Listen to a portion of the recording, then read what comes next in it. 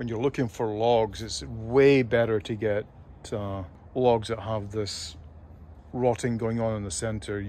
Not so much chain work and not so dangerous.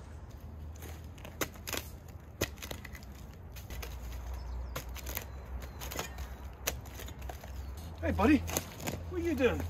Who are you? You want to go in there? Go on there, what's that? What's that in there, huh? That your doggy, is it? That thing looks expensive.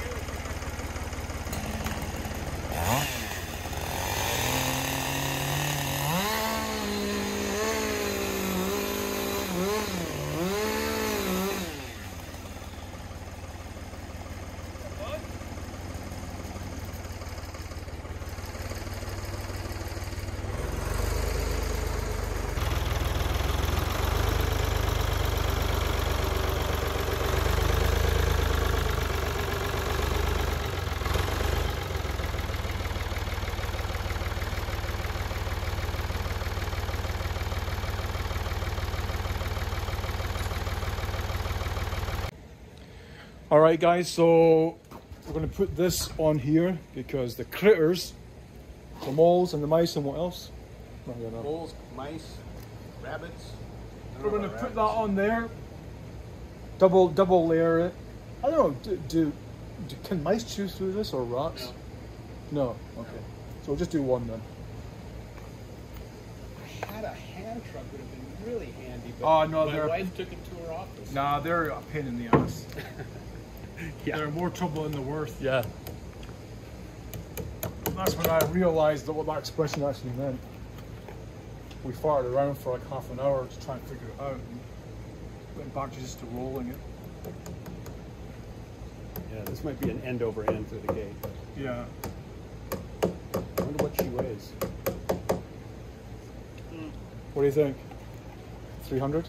No, 250? 220? I'd say maybe 200. Alright. I'd, pretty wet or dry? Um, pretty looks damp. A wee bit damp, yeah.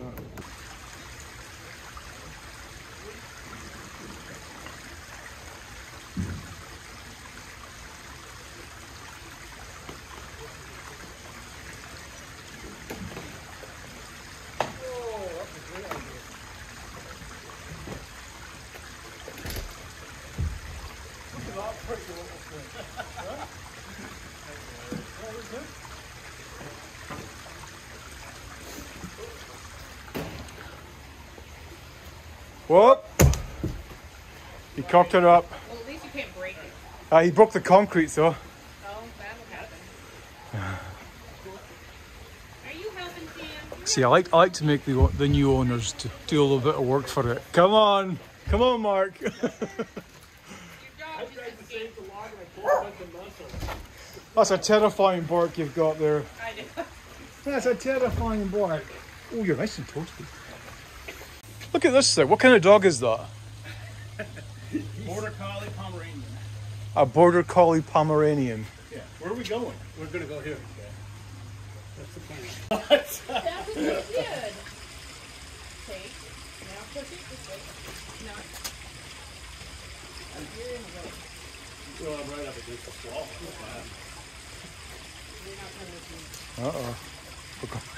You're There you go. Well, you know, you did your part. I tried.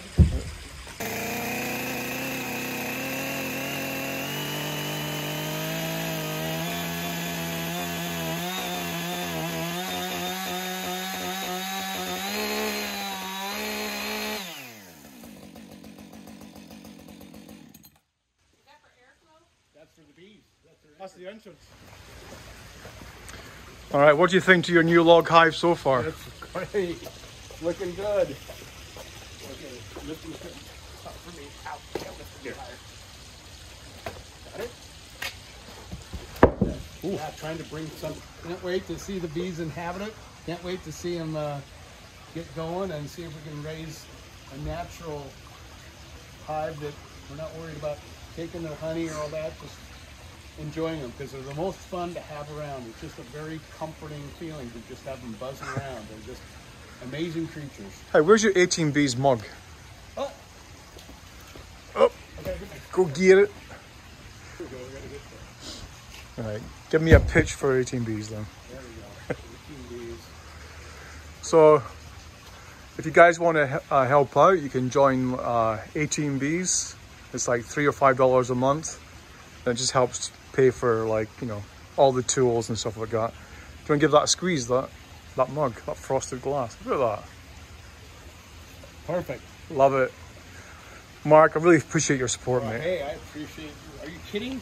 Do you, know, do you know what it would have cost me if I would have paid to have that done? How much? this is fantastic. How much oh. would it oh. cost?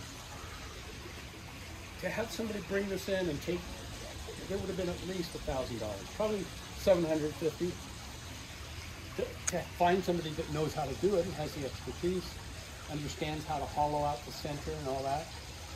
Yeah, this is a labor of love. A labor of love. Yep. I'm on to the next one. See all you guys. Right.